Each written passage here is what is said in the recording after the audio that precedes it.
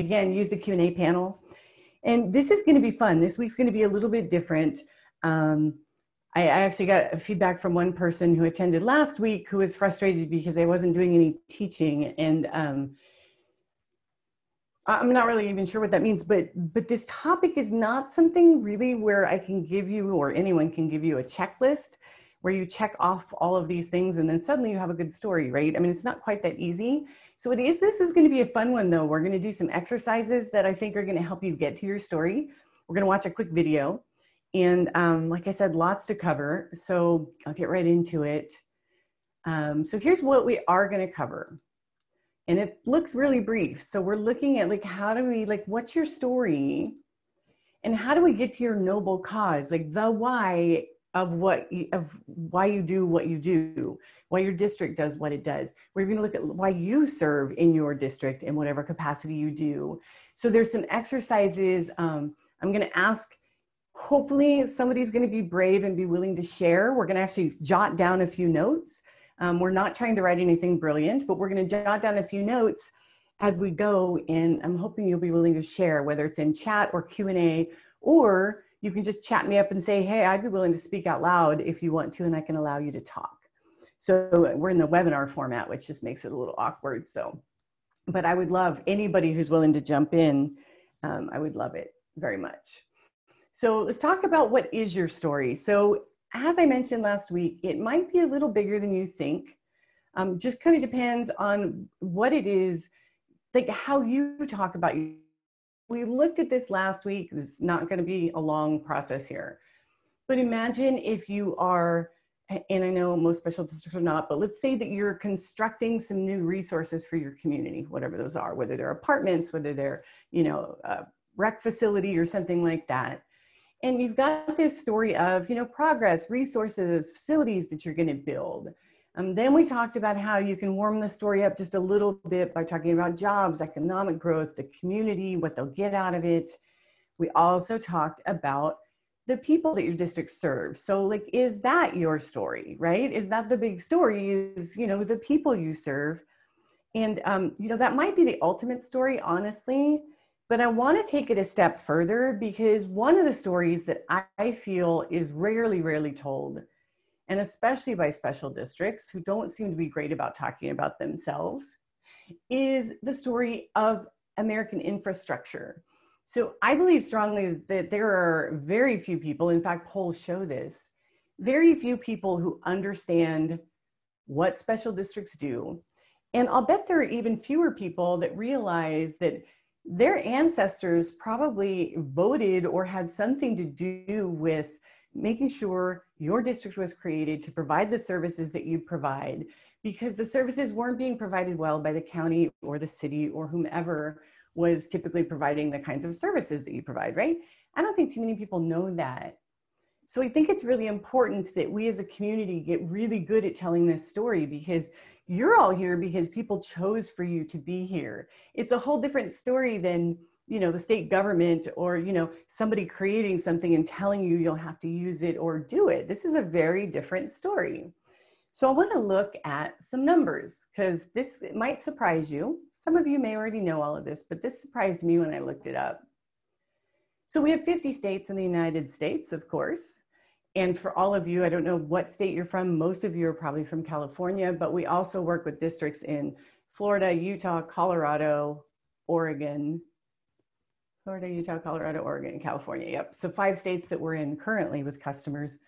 But of course, there's only one of whatever state you happen to live in. There are a lot more municipalities, of course. Oh, we've got somebody from Illinois. Yay. There are a lot of special districts in Illinois. There are about 3,200 in Illinois, actually, Terry. Thank you for chatting that in.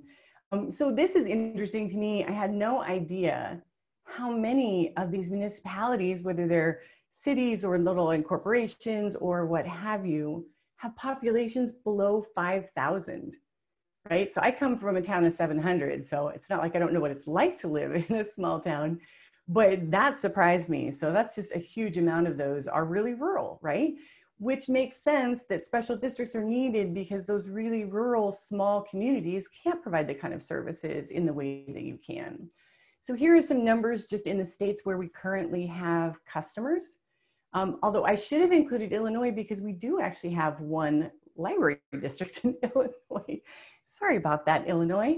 Um, so this is interesting though. So, you know, they break down into these numbers and they're, these are all, you know, what you can find on the internet. So, you know, we can all believe exactly what we see on the internet, but the numbers are kind of hard to track down because um, the, the, there's not really anybody. In fact, I remember when I first started looking at Illinois, I contacted a group, kind of a sunshine watchdog group out there because I figured they would know how many special districts Illinois had.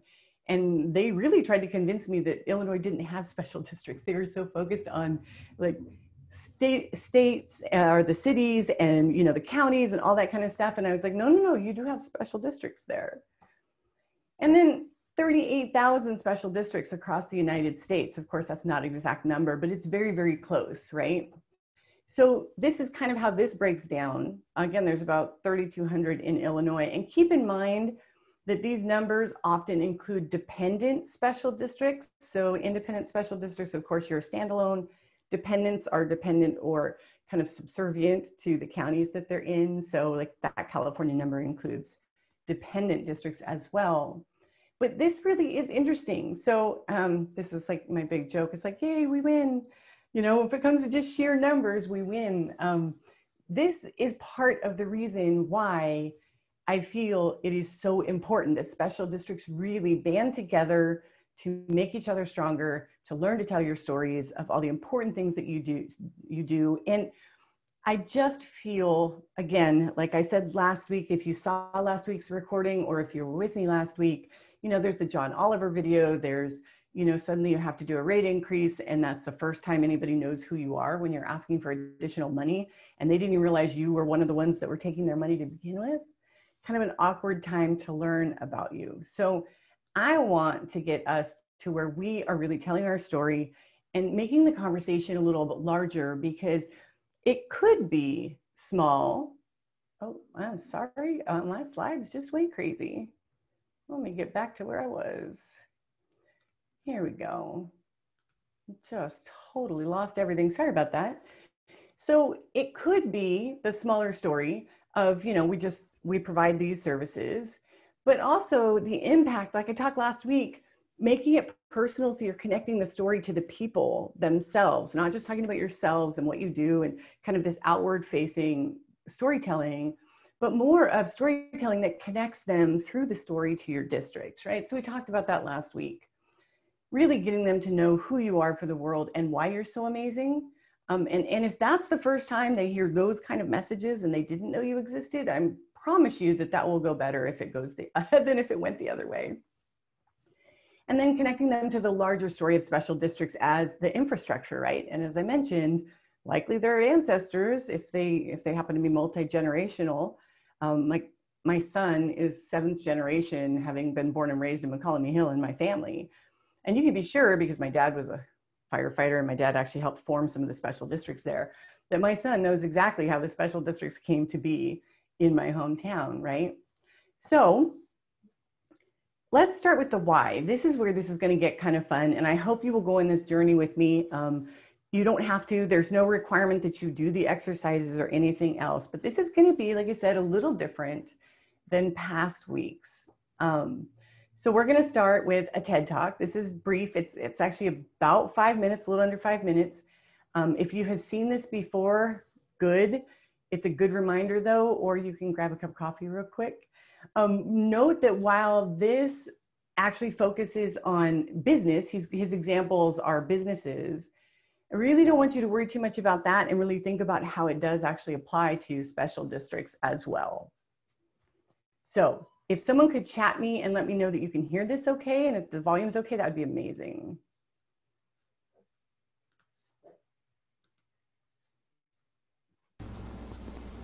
Why, how, what? This little idea explains why some organizations and some leaders are able to inspire where others aren't. Let me define the terms really quickly.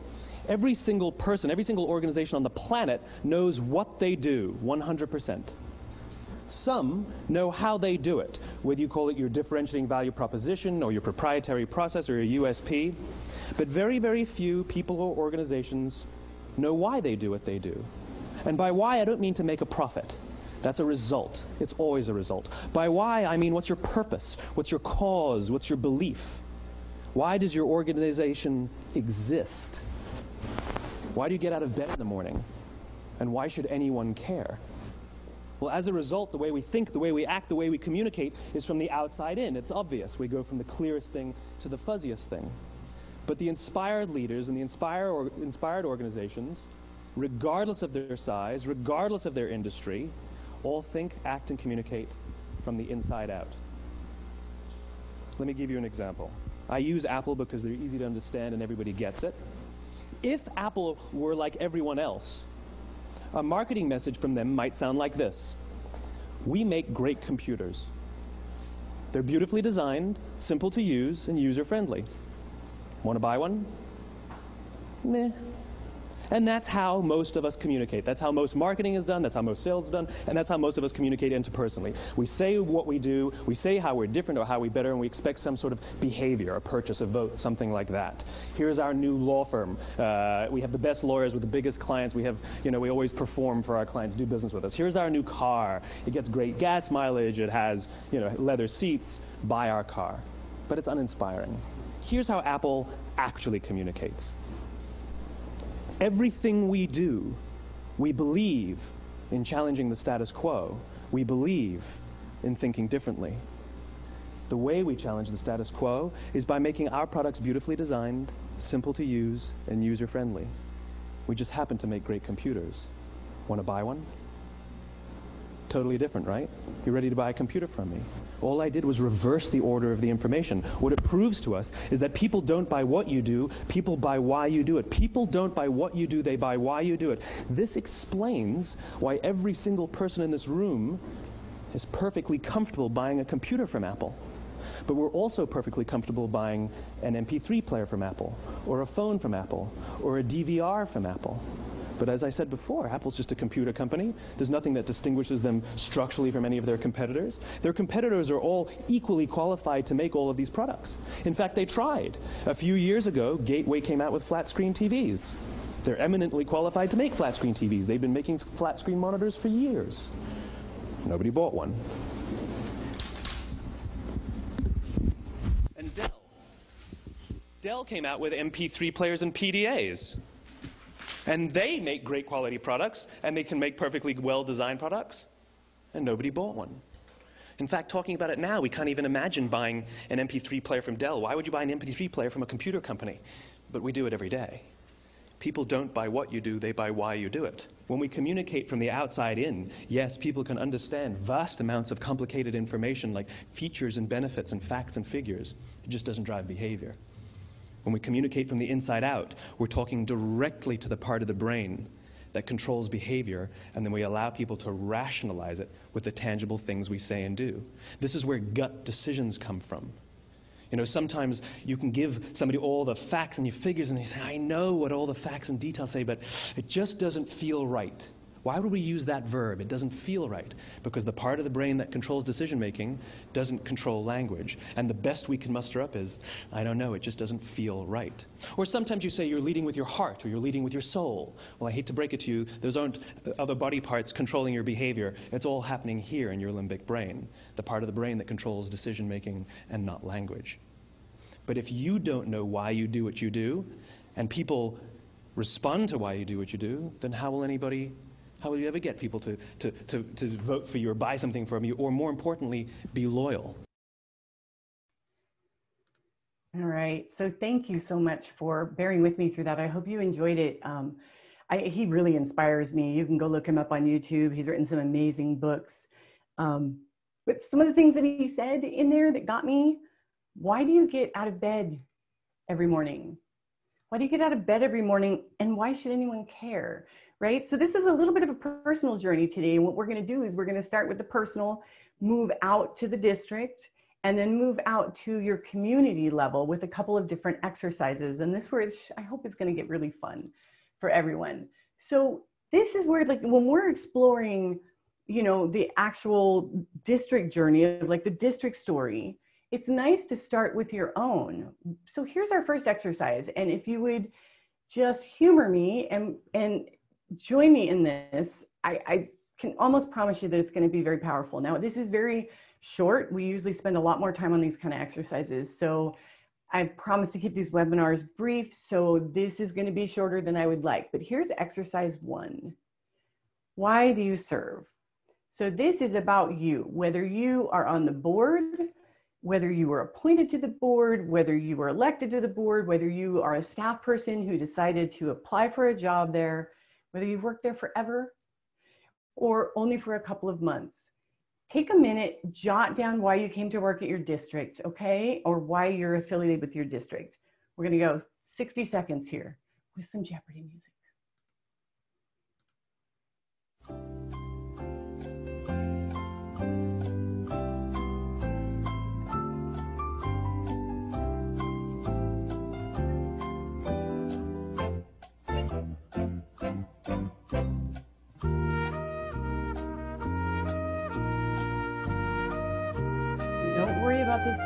Perfect. It doesn't have to be perfect. It just needs to be heartfelt.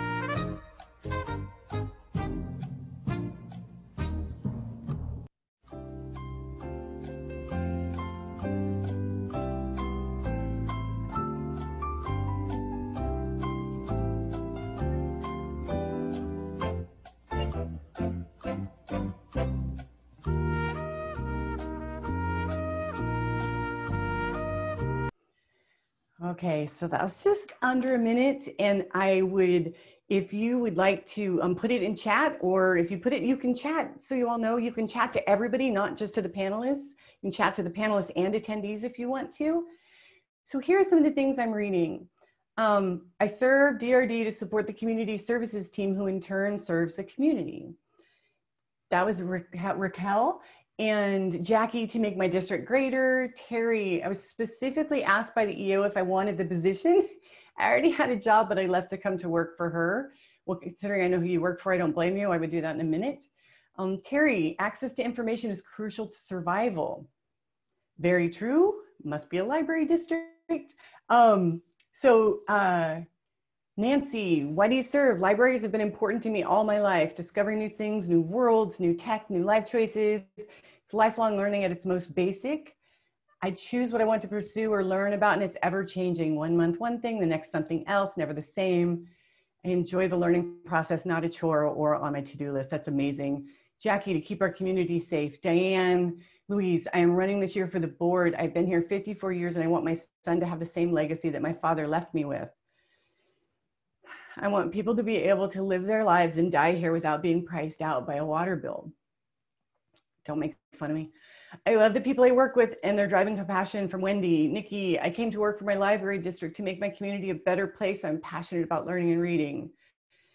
This is why we're going to go over time and I don't care. It's amazing. Uh, Jennifer, I love to connect with people, like to build connections between others, make life more fun. Oh my gosh, I'm losing track here more balanced work-life balance. Nancy applied for the job after the company I worked for closed down. Yeah, that's huge. After 25 years. Marianne, there was a need that needed to be fulfilled and I do those tasks well. I wanted to meet people in my community and I care about the roads in my community. Tyler, an intern for college, very good job. We need more of those affiliated with special districts right now. Michael, I want our community to be better to make it a better place. Nicole, deliver high quality recreation opportunities, places for people to gather, Barbara connects me to my community. Roxana, my name is Roxana and I work for Salton Community Services District. I work there because I want to see changes in our Salton Sea community. Uh, yeah, we are unincorporated and I feel that we need the trust of our community. Okay, so I'm gonna have to quit here in a minute. Okay, just a couple more. So Laura, I want to contribute to effective ethical government in rural communities. Thank you. Water is essential, essential to life. It's so true. Craig, I live in a good community with good people and desire to make positive difference. My dad was involved in California special districts and made a difference. Yep. Great. Jay, helping people when they're when they or their situations at their worst. Kathleen, to make the most difficult time in a person's life as easy as comforting as possible. Yet my cemetery districts are some of the most inspiring I've ever talked to. Katie, I believe our paramedic service provides amazing health care. Oh yeah, and services to our community. We have the smartest, most qualified paramedics and EMTs around. And Brenna, a friend let me know there was an opening and he saw a good fit for me there. I fell in love with being a part of the community and protecting public health. So there you go. So I can't beat any of those, um, but I made myself go through these exercises the other day because it had been a while. Um, it had been a while So this is mine. I created Streamline because special districts are closest to the people they serve, yet no one builds software for them, specifically for special districts, because their budgets are typically too small. So, you know, the software is, um, you know, usually big companies looking at big government spending big dollars. So this was my why. And of course, I couldn't be a firefighter anymore, which was my first love. Um, so, um, and I, okay, one last one, Megan, this is great. I believe that life should be more than just about ourselves. I initially didn't want to be a public information officer, but I found a place where I can blend service to others and my love of learning and information. Yeah, see, so you are also brave. Thank you for sharing, um, for being willing to share, for being willing to do the exercises. And I have two more, so I'm gonna just keep moving right along, um, but, but the next one's fun too. So who is your district for the world? So now that you've kind of toned, and we're going to do this in concentric circles kind of and expanding outward. So we've started with you.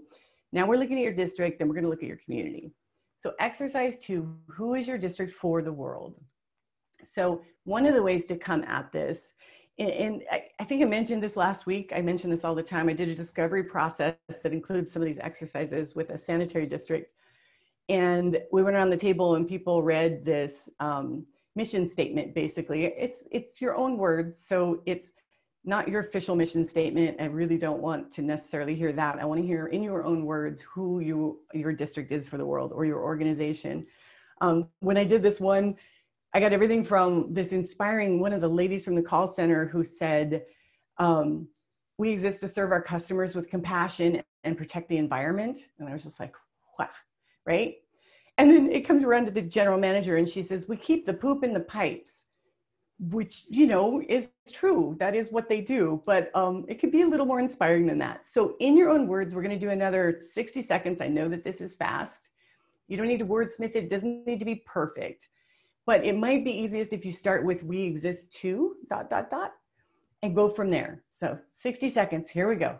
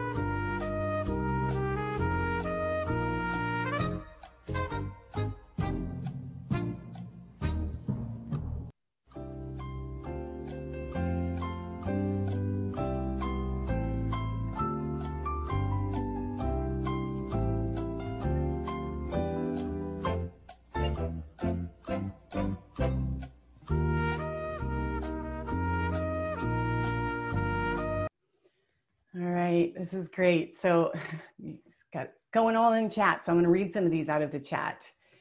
To Tyler, to better the quality of lives in the community we serve through recreation and character building. That's definitely a bigger story than to put a park out there in case people want it. Um, Jackie, we volunteer to protect life and property in our community and beyond. Yes, you do. Uh, Raquel, we exist to enrich the quality of life for our residents and communities and community. Jay, we exist to serve the citizens and visitors of Northern Wasco County, Wasco, I hope, when they have an emergency. Uh, Belinda, we exist to create a place where families can come to remember their loved ones and find peace. Brenna, we exist to inform the public about the importance of personal mosquito control measures and keep mosquito populations low for the betterment of public health. Brenna, I'm just going to a little aside here tell you. First of all, I'm so impressed with mosquito control districts. Um, I live near a river, so it's just amazing. But the other thing is that I follow some of them on Twitter, and I tell you, I take much better care of tipping things in my yard. Since I started doing that, I've learned so much. Um, Craig, we exist to provide healthy recreational outlets to the community. Michael, we exist to enrich people's daily lives. Jennifer, we exist to be the leaders in providing wow experiences every day through parks and recreation. We do that by putting people first. Nancy, get the right info into our community hands fast, whether it's books or other resources. It's not very jazzy, but it's true. I don't know, we need jazzy, right? This is great. Regina, we exist to protect life and property in our community. We supply qualified and highly trained individuals to care for our community. Katie, we exist not only to save lives, but also to improve the quality of life for our patients. I love that. Wendy, we exist to provide people and resources against threats from fires, medical emergencies, and other disasters, basically to protect property and life in the Little River uh, Albion communities. I hope I'm pronouncing these communities correctly. Laura, we exist to see that our region continues to have economic opportunities and support the state of Colorado in protecting and utilizing water. It's one of the things California has in common with Colorado is water issues that's awesome. Marianne, um, we exist to maintain drivable roads. That is our gateway to the world. Okay, I love that so much. That's so much better than we make sure there aren't any potholes, right? Brandy, we exist to keep people's lives and businesses from being upended by seasonal flooding or by groundwater scarcity. Fantastic. One of my examples in, in one of my talks was, yeah, flood control agencies uh, Nikki, we exist to provide opportunity for everyone in our community to grow and learn regardless of needs or life position. Okay, I gotta have to talk faster. Terry, to share the opportunities to learn freely without judgment, to enrich and strengthen the community. Brenda, yay, Brenda. Um, Nancy, we exist to bring enjoyment to all families together outside of their homes. So important right now. Barbara, we exist to provide clean, clear, potable water potable potable water i think to the members and create community among the members. That's awesome. Kathleen we exist to create a place of everlasting peace and comfort while remembering your loved ones. Terry we exist to be the legislative legislature's watchdog in managing the orderly growth and development in california by special districts and cities. Awesome awesome. Diane the mission prior to my skirt lifting was to keep everything hidden from view. I have changed that over the past year. A team of us are determined to have outreach that will knock on the doors of our advanced age citizen seniors who are being disenfranchised by isolation due to digital meetings. We believe they should be not, for, not be forgotten in the web of the digital world. Okay, that's amazing. Domini, hi Domini. CAWD is critical to the environmental success on the peninsula. This is absolutely true. And Jackie, we help farmers and ranchers with soil and water resources and education programs in schools.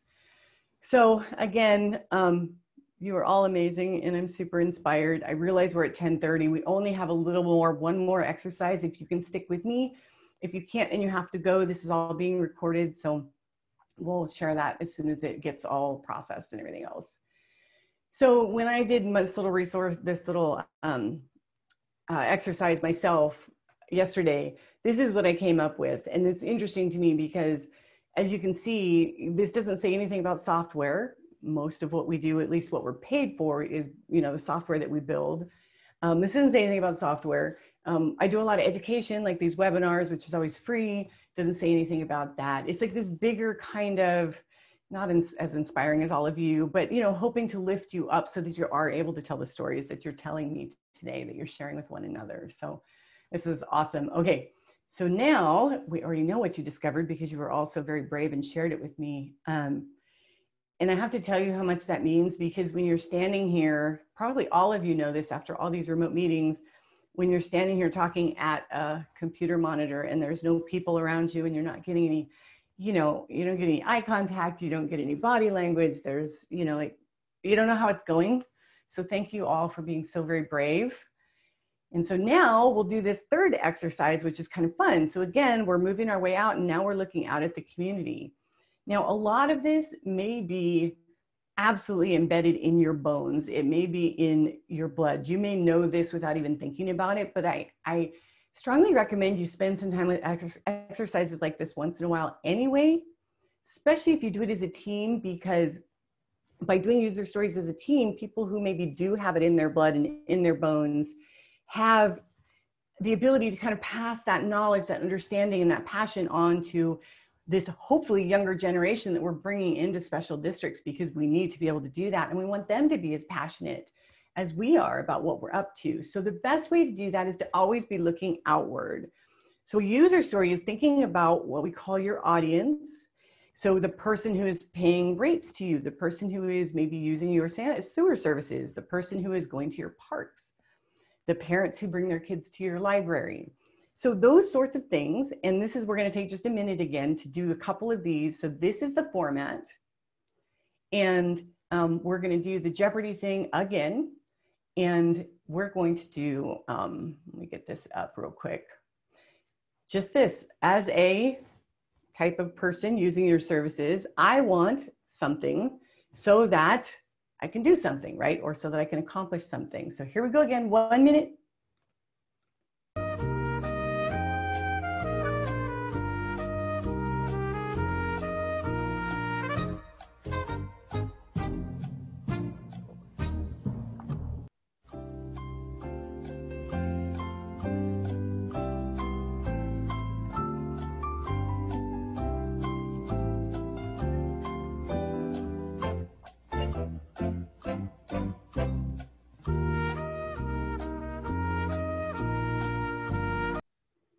Oops, sorry, didn't need to stop at that soon. Okay.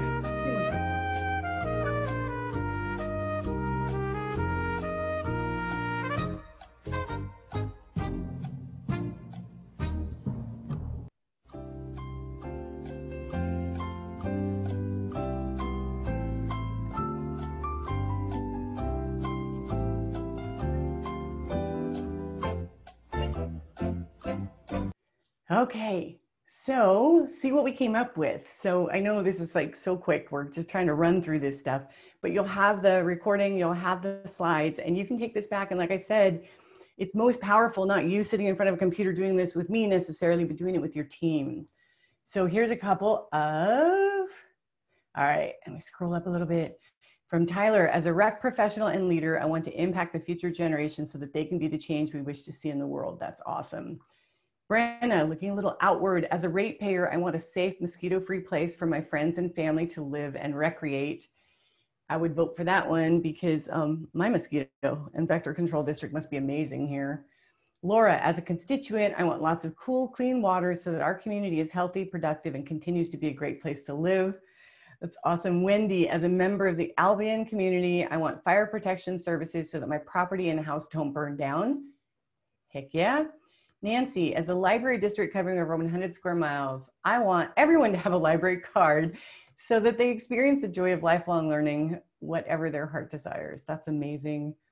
Jackie, as a senior in a remote community, I want someone to respond quickly if I have an emergency so that I can remain safe and survive for many years. That's kind of applicable right now. Brandy, as a taxpayer, I want to see the taxpayer dollars are being well spent by people who know it's important to do good work so that the community is served effectively and gets good value for their money. Yeah, really important. Michael, as a resident, I want my community to be valued so that daily lives are happier, which I know you personally, so I know that's a lot of the reason why you do what you do. Cindy, as a community member, I want a sympathetic and beautiful burial experience so that my family feels comfort and closure you guys are just going to keep trying to make me cry and embarrass me in front of everybody. Um, as an adult, Nikki, as an adult learning program user, I want a place where I can learn without judgment so that I can get my GED. Roxana, as a community resources agent, I want to see more resources for our youth and families so that our kids can have a successful future. Jennifer, as a resident stuck at home with two teenagers, I want positive and healthy outlets so that I don't go crazy. Okay, thank you, because I needed something to make me laugh for a minute. Um, Barbara, as a water user, I want reliable water service so I can live well, thrive, and wash my kids. Having raised a boy, I, uh, I would agree with the importance of that one. Okay, you are all amazing, and I'm sorry I'm so emotional. I think it's just everything makes me cry lately, um, this whole COVID thing, and everybody's so angry in the world. Um, but this is awesome and so inspiring. And um, I wish we had more time. Like I said, please, please bring this back to your district. You know, um, it, it, these three exercises can be super powerful for team building. One of the reasons we originally designed them, actually, I designed these because I went through one of the most awful discovery meetings I'd ever had in my whole life where I'm trying to bring a team together and they're all bickering over who gets what real estate on the home page. That's all they could talk about. I get to be in the main navigation because our dist our um, section of the college brings in more money, and it was just this crazy conversation where it's like, oh, and I couldn't get it under control. The website turned out horrible. They weren't happy. We weren't happy. Nobody was happy. So I developed this process, and we came back, and when they wanted to redesign, I brought this process in. And it is so important. It just makes people like it makes the conversation so much bigger. So it's really really really important. Um, just a couple more i'll read. Diane as a long timer i want people who paid their homes off have the right to dignity and safe affordable reliable water and infrastructure. I want to tap the retiree skill set so that they, that they retired with and get them energized by volunteering and bringing those amazing skill sets to the fore so we can benefit from them. That is amazing. And Marianne, as a resident, I want safe, drivable roads so my vehicles aren't damaged, my house is easily reachable, and improves the resale value of my home. That's a reality, right? Megan struggled with this one, new to your org, and, and the building isn't even completed yet, so we're not actively doing what we will be doing. Any tips on how to develop the answers to this one? Megan, I actually feel like that's the best opportunity you could possibly have to actually design this before you're even out in the community. So, you know, you'll get emails from me, Megan, if you would just respond to one and maybe you and I will hop on a Zoom because I definitely have some ideas on how you can develop some answers to these to your imaginary users that are out there. I would love to have that conversation. Um, oh, Craig had to go. Um, great, thank you for the nice words, Craig. Okay, so so we're just here's our recap, right? And I don't even know why I recap. 30 minutes is not that long, or 38 minutes. So sorry. Um, but here's the things we talk about your story matters, right? And these exercises that we just did can really help you tap into how to tell it um, to just get to that bigger story, that more personal story, and all of that. So there's my quick recap. And then this is next week. So these are what our next weeks are going to look like. Next week's going to be packed again because we're going to be looking at some examples of good storytelling, a couple of examples of different ways of telling stories, and all of that. Um, Megan, it's fine that you're not a special district. It's fine. I, I love to help anybody. So that no problem at all. Just send me an email and we'll figure this out. Um, because it all matters, right? I'm not a special district either, and I care about this more than half the districts I know. I'm like, this matters so much. And so we're all in this together. Um, so we'll have examples next week. And then weeks four through six are going to be, if any of you were in my guerrilla marketing webinar series that got kind of cut short because we stopped to teach everybody how to deal with COVID and public meetings. We're going to be going over a lot of that content in weeks four through six. So I'm giving us a whole three weeks to go through and like talk about like now you kind of have developed your story. How do you get it out there without spending a ton of money, buying a bunch of billboards, whatever. So that'll be our last three weeks. Um, Regina, oh, that's very nice. Thank you. Um, I'm glad you like these sessions uh, district has been really focusing on telling our story to the community lately. Check us out at ECC. If only my favorite fire district, not my favorite, you're all my favorites. Um, especially with Lockwood on here. Sorry, Jackie. But yes, Chief Helmick and I, I've got a funny story about him, Regina. So you should connect with me because I can tell you how we started our relationship together on this website. Um, yes, Michael, I will be emailing out the links to the session recordings. Kathleen, you're very welcome. Oh, you're Shiro. Thank you so much. One thing just to show you all, this is where if you if you go to just real quick, if you go to our website and go to webinars, this is where you can always find the upcoming webinars, including a disaster planning one, the second one in a series we're going to be doing in November. So that's there if you need it. And then the other thing is the landing page that, let's see if I can get to this. Um, da, da, da, here it is right here. The landing page where you registered will also be the same place that I always put up the recordings and the slide deck. So every week when I send you an email, it's going to be the same link. So hang on to that if you can. Otherwise, just watch for my email. And um, thank you for your kind words. And thank you so much. Um, thank you so much for spending time with me. I know this is such a crazy time and everybody is so busy. Um, yeah, it's crazy, but it's really nice to connect with you. I'm actually really encouraged about, and this is why I keep telling people to come to the disaster preparedness one, because that one's going to be a Zoom meeting instead of a webinar. So for those of you who want to be on camera, you can, and we'll be able to see each other and like work together in a little workshop format. So if you can sign up for that, that would be awesome. Otherwise, thank you, and I will see you all next week. Take care. Bye.